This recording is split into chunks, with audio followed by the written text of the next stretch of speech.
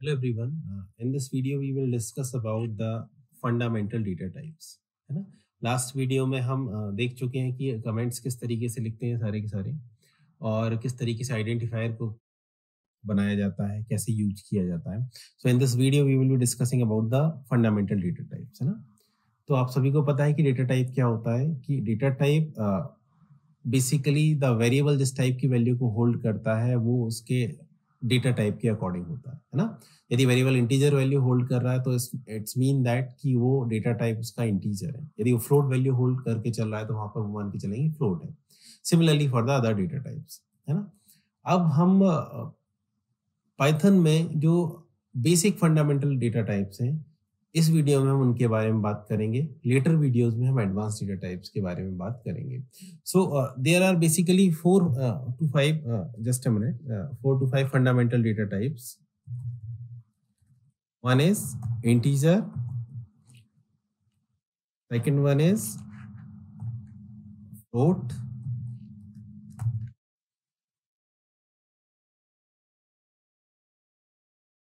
Complex.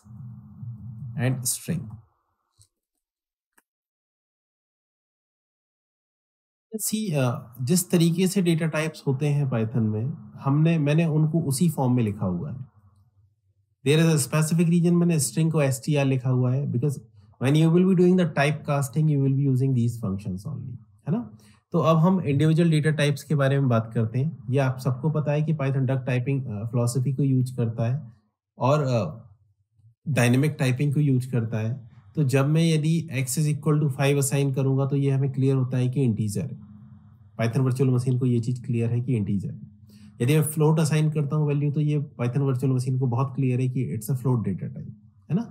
Similarly for the boolean complex and string so let we see the integer data type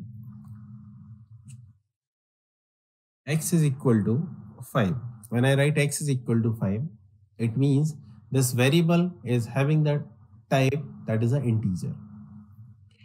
अब Python में integer variable में जो data रखने के तरीके हैं, या वेरियस टाइप्स जो इंटीजर होते हैं, या वेरियस फॉर्मेट्स जो इंटीजर के होते हैं, उनके बारे में मैं और डिस्कस करूँगा।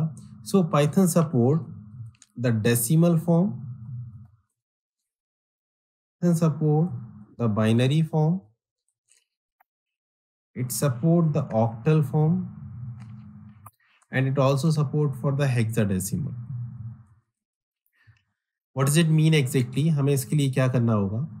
जब हम बाय डिफ़ॉल्ट किसी भी डेटा को लिखते हैं और x is equal to five लिखा हमने तो जो पाइथन वर्चुअल मशीन है, वो ये मान के चलती है कि इट्स अ डेसिमल फॉर्म लेकिन आप चाहें तो आप इंटीजर टाइप के डेटा को, मैं यदि इसको बाइनरी फॉर्म में स्टोर करना चाहता हूँ so what I will do zero B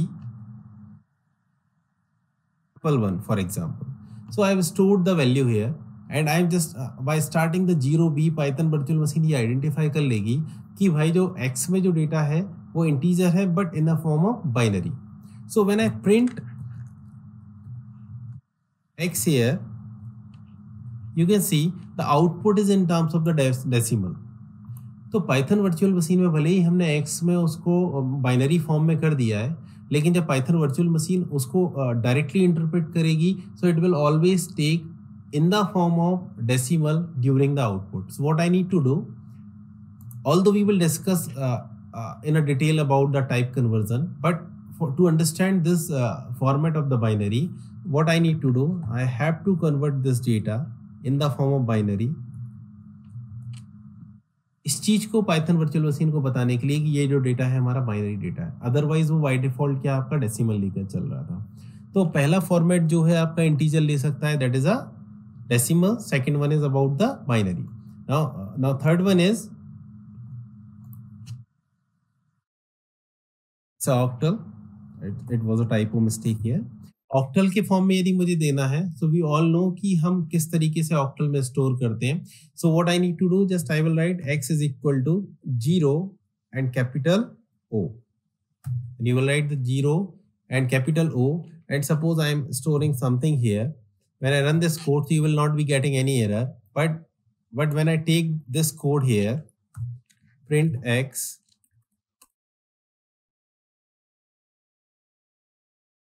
you can see the value again the 153 the similar concept is here. We have to type type convert the data to make this understandable to the python virtual machine ki ye jo data hai aapka octal ke form so what i need to do? I will be using the oct binary uh, oct conversion here to get the exact data. So now you can see that 0 o 231 that we have stored in the x variable. Now now coming to another type of another formatting that can be used with the integer data type that is a hexadecimal. So what i need to do suppose i am taking the uh, same variable 0 uh, x here then i will what i need to write uh, just i will write the 0 x. It is the indicator that the given data is the hexadecimal data. And suppose if i write f a c e uh, when i take the code print x Again, you can see that the same answer is here in the form of the decimal. So what I need to do, I have to convert it into the hex format. When I run this, you can see the whatever the value we have written here, it has printed 0x face.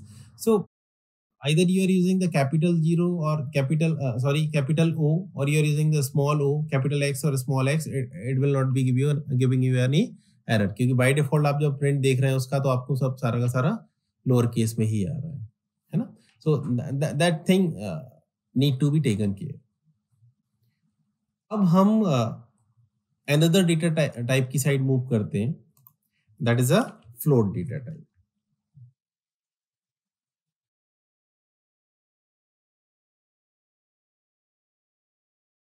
So in the float data type, what I need to do, just when I will uh, like write x is equal to 5.0, तो जब मैंने float value store करी है मेरे data में, uh, that is my variable is containing the float value, that is a clear indicator to the Python virtual machine कि भाई uh, ये जो data है आपका वो float data है, है ना? So when you run this code, you are getting the 5.0.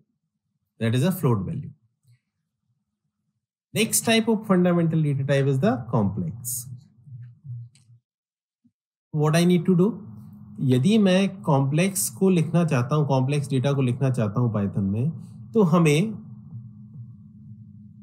लिखने का तरीका है दैट इज़ वेरी इंपॉर्टेंट क्योंकि mathematically it's a little bit different but Python में जो लिखते हैं, उसका तरीका क्या है, वो आपको समझने की ज़रूरत है if I write x is equal to A plus sorry x is equal to two plus three I like mathematical. When you run this code, so you, you will be getting the syntax error here. What you need to write here, you will be writing a J.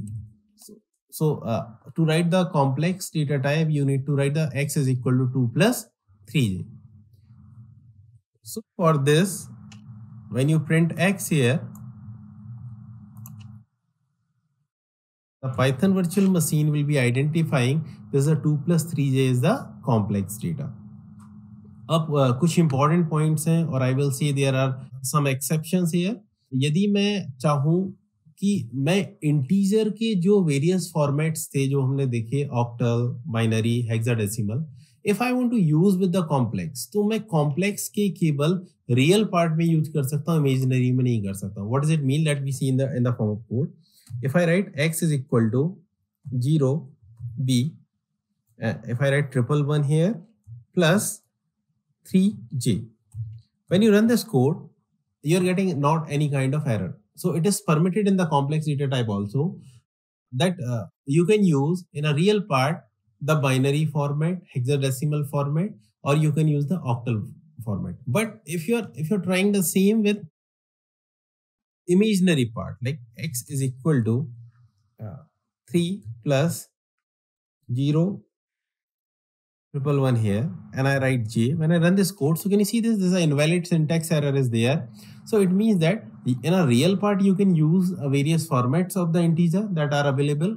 And uh, in the imaginary part, you have to go with this only. So this is a kind of exception that you need to take care when you are dealing with the complex data type. Now you are having other fundamental data types. So next one is the Boolean.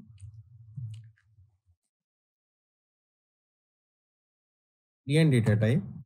So in the Boolean data type, what is it? You can see you have learned about the two keywords that is a uh, true and false. So uh, when you assign the true or false value to your variable, when you run this code and print x, you will be getting a true value. It means that the Python virtual machine has understood कि आपने भाई, आपका जो variable x है ना, उसमें आपने जो वैल्यू असाइन की हुई है, वो कौन सी वैल्यू असाइन करी है? बुलियन वैल्यू असाइन करी है, वो उसको उसी तरीके से ट्रीट करते हुए चल रहा है। Next important data type is the that is a fundamental data type also that is S T R string string data type comment it out now string data type को यदि मैं लिखता हूँ, x is equal to suppose Rahul if I am writing the Rahul here when I print X, so you can see it is printing the Rahul. So string data type is nothing, it's a collection of various characters जो हमने दिए हुए हैं और उसको print करा तो Python virtual machine ने समझ लिया है कि भाई ये it's a string data type एक कंफ्यूजन होता है that should be very much clear to everyone if I write x is equal to r only and when I print same statement here and run this code so you can see the output is R. But in a Python there is no word like the character. So this is again a string data type only. It's not a character data type. So in this video uh, we have learned about the basics of fundamental data types which which is integer float boolean complex and string so for this video, it's overall from my side. Thank you.